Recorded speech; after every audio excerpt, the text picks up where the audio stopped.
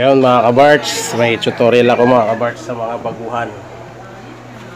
Ito mga kabarts para sa mga bago pa lang mag-uumpisang humawak ng clipper.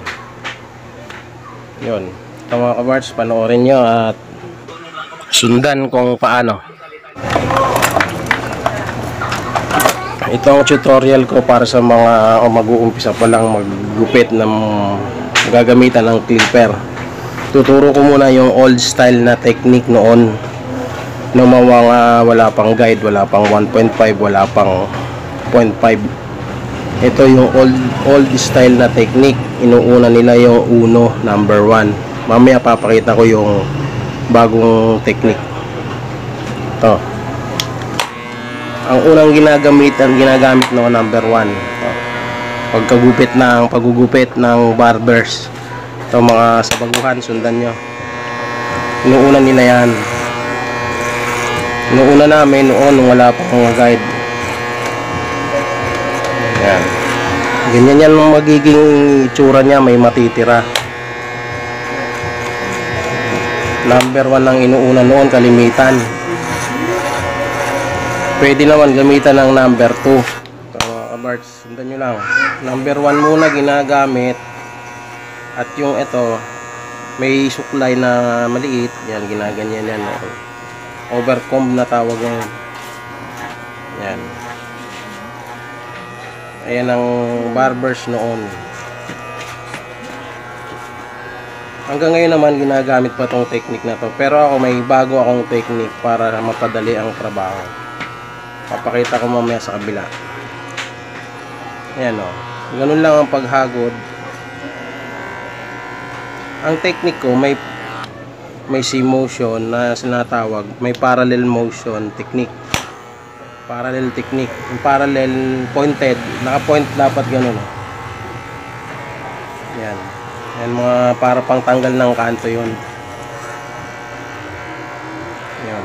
Ganyan barbers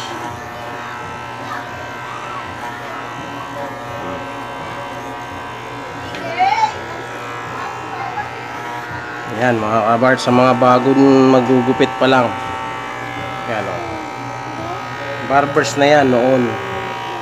Kasi pag tinaasan mo yan, magiging 2x2 na 2x3 barbers na. Barbers na yan. Yan mga kabars. Ngayon, yung mga matitira, guguntingin na lang yan. Yan mga kabars. Pwede mo i-overcome ito. Overcome. Mga mga makapal ayan o mga sa baguhan ayan sundan nyo lang. Yan na yun barbers na yan. Ngayon eto guguntingin na natin to. Naituro ko naman yung paano paggunting hanapin nyo na lang dyan yung mano mano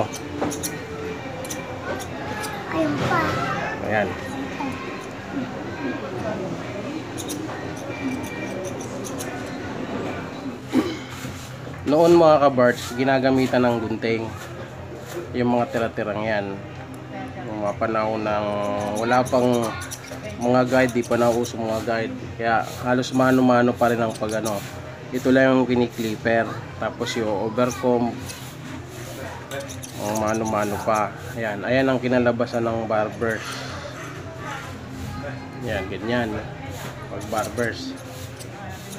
Pag ninipisan mo pa to magiging 2 by 2 by 3 1 by 2 3 by 4 pag tinaasan at mas manipis. Kaya pag magugupit kayo ng barbers kailangan number 1 talaga dito. Huwag nyo hayaan na numipis pa. Yan, ayan number 1 lang yan. Kasi pag naging 0 na yan hindi na ano yan barbers fade na yon kung tatawagin ngayon. Noon 2 by 3 3x4 ayan mga kapars tapos na tayo dyan. Ituturo ko naman sa inyo yung proseso ngayon yung technique ko ngayong noon pa ginagawa ko na yan. Pero ito para makita nyo yung technique ko para mapadali ang trabaho ito tayo sa kabila. Ayan siya mga kabars yung barbers hindi ko pa naakitan di turo ko lang naman kung paano style ng barbers yan, ganyan. O, Sa kabila tayo. Ayan mga kabars, sa kabila tayo. Ito naman ang technique ko ngayon. Kung may number 5 kayo, pag na- nakabili kayo ng clipper, may number 5 o kung ano man mga guide nandun, ito, ito pinaka the best na technique para sa paggupit ng barbers. Ito mga kabars, sundan nyo. Unahin nyo number 5. Sunod, sunod.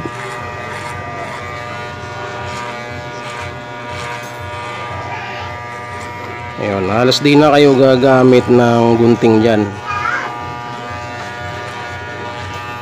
Ayun, naka number 5 na. Pag makakapal ang buhok, ayun, naka number 5 na. Gagamitan natin ng 1.5. 1.5 naka open ang lever. Pointed parallel motion ng ano, ayan, ganyan.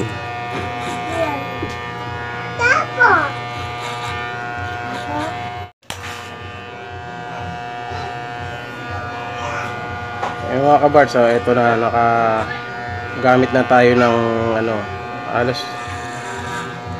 pares din siya ng proseso doon sa kabila. 1.5 na open ang lever. Kung may number 2, pwede rin gamitin ang number 2. Ayan. Number 1 na tayo. Number 1 na. O yun, sa pagkabilaan, tapos na yan. Mapag-barbers na tayo agad. Oh. Halos di na tayo gumamit ng gunting. Di na tayo nag-overcomb kasi nanipisan na ng number 5 yun. Hmm.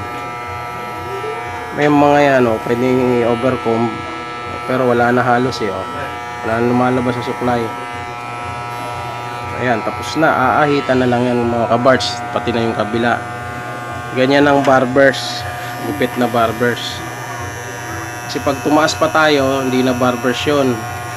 At pag numipis, hindi na barbers. 2x3 na o o paid.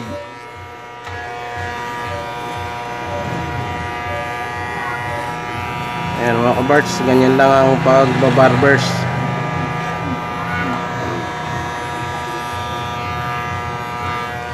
Ngayon, dahil noon, uso pa yung guguhitan mo muna, yan, bago mo ahitan.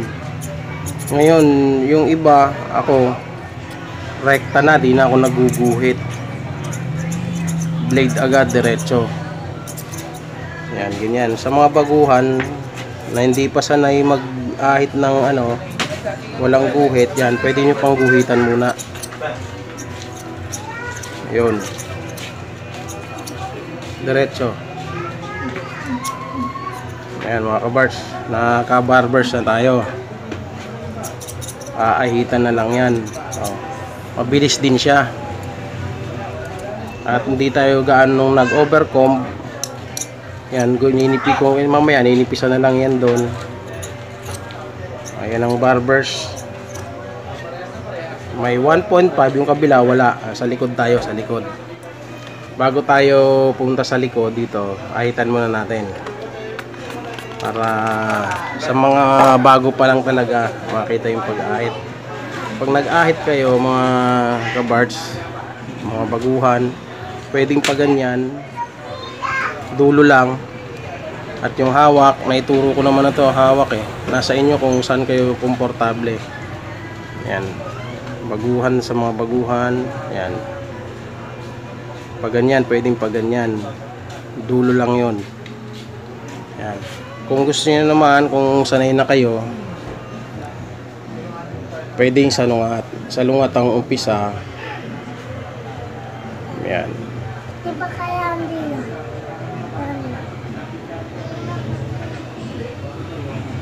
Ayan mga kabarts.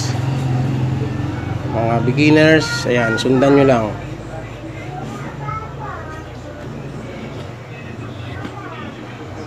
Yun. Dito, pag ganyan. Ila dito, pag ganun.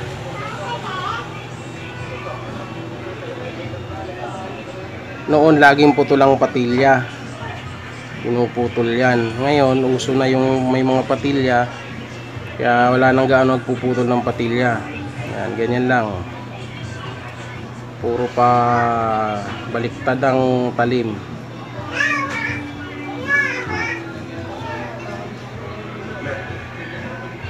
Yan dito ating pasalungat Ah,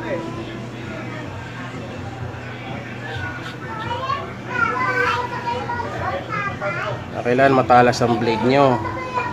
Para hindi persado yung anit. Ayan mga kabarts. Nakapag-ahit na tayo.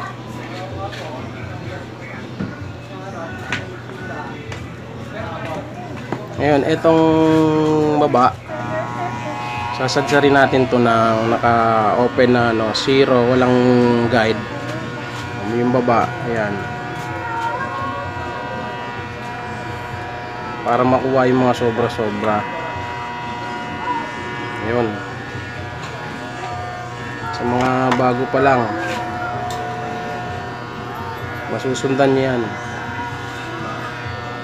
Ang barbers kasi, hindi talaga dapat upod na upod yan. One lang. Yan mga kabarts, kalikod na tayo. Yung mga kabarts, dito naman tayo sa kabila. Dito kanina 1, 'di ba? Number 1 ginamit. Ganun pa rin, 1 naman ulit tayo para masundan nyo. Doon sa kabila, yung may 5 naman gagamitin natin. 1 din yan, 1. Kalimitan ng 1 mag-overcome ka talaga. Kasi nga para makuha mo yun. O kaya adjust mo yung ganyan para makuha mo yun. 1.5 ayan. I-adjust mo para makuha yung 1.5 yung kanina ginamitan ko ng 1.5 na naka-adjust din. Ayan. Ayan na yung barbers niya sa kabila. Ayan ang pagkakaiba ng mag-overcome ka sa hindi ka mag-overcome yun. Yun ang number 1 ginamitan. Madilim. Ayun. Ayan siya mga kabarts. Ginamitan ng number 1 overcome ayan o old style yan old, old technique. Ganyan ang technique noon no. Bago pa lang may mga magamamit ng clipper. Ayan o madaling paraan ng paggugupit ng barbers. Ayun sa kabila tayo gagamitan natin ng number 5 ikot konti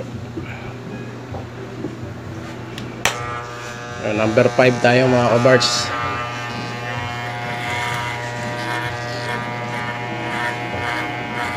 hindi na tayo gagamit ng overcome o kaya gunting.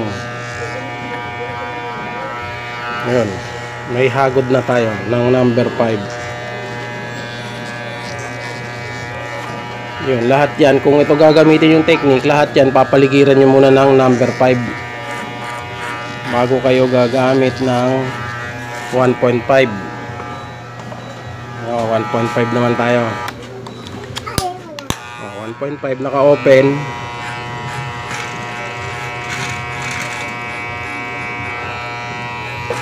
Oh, ayan oh. Maganda ang hagod niya, pares naman eh. Kaso kung alin mas madali. Oh, Mas madali ang Sige, malikot.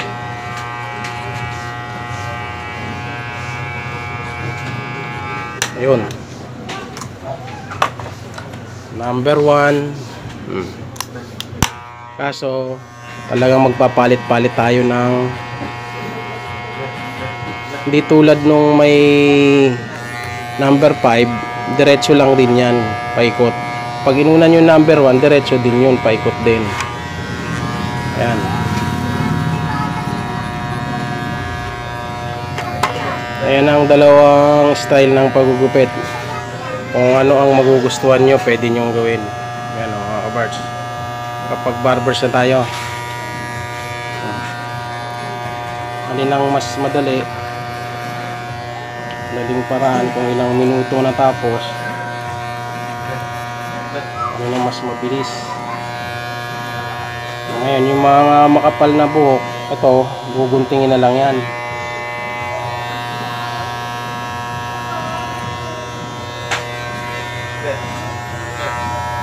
Yan, okay na mga kabarts. Nakapaggupit na tayo ng barbers sa mga baguhan dyan. Oh. Masusundan nyo yan. Kung wala kayo number 5, yun ang gagawin yung ano, wala kayo 1.5 sa walang guide.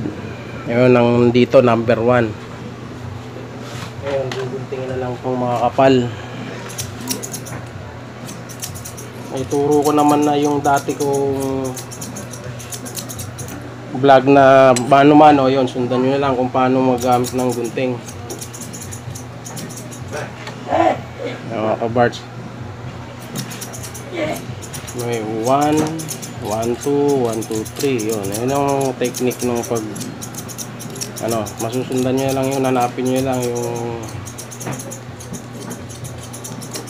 mano-mano tutorial.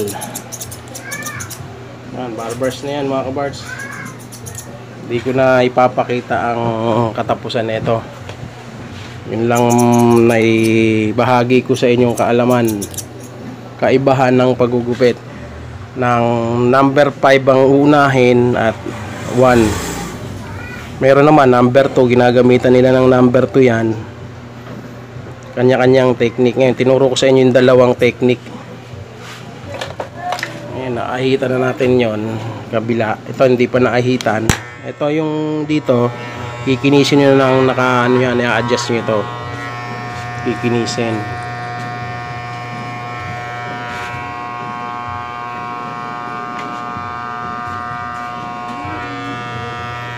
Yun, barbers na siya.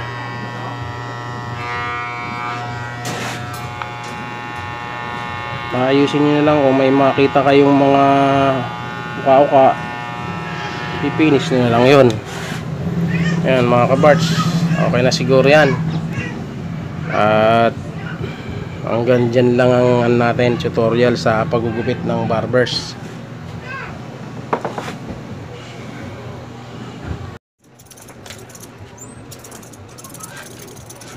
Lamang.